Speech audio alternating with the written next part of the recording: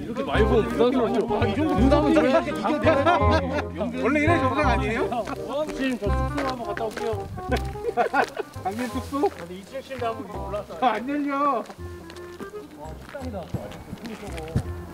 저 원래 박경호 코치님도 있었는데. 코치님 원래 저 스클 그 있잖아요. 블라인드. 맞아요. 그 박영복 때.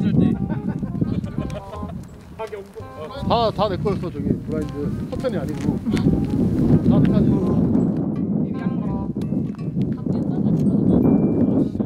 저기 살모사 키운 거팍 되게 있었어요.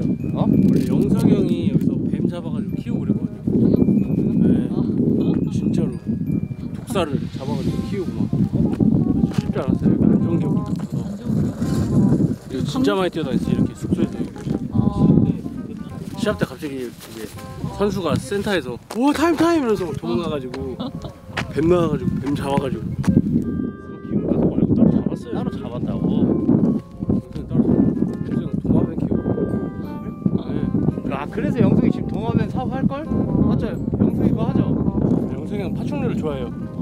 그래서 영 저 저 숲풀 있잖아요. 그 탐험하고 그랬어요 영석이 형.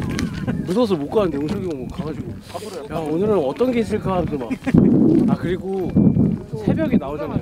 근데 아침부터 하니까 그러면은 뻥이 아니고 여기 두꺼비가 한 600마리가 아이 거짓말로 600마리가 어떻게 있어? 살짝 붙어가지고 살짝 살짝 붙어서 600마리가 여기서 이렇게 떼져서 구보하고 있어요. 구보한다고? 아침 구보. 발 맞춰서 아침 구보. 살발하네. 두꺼비가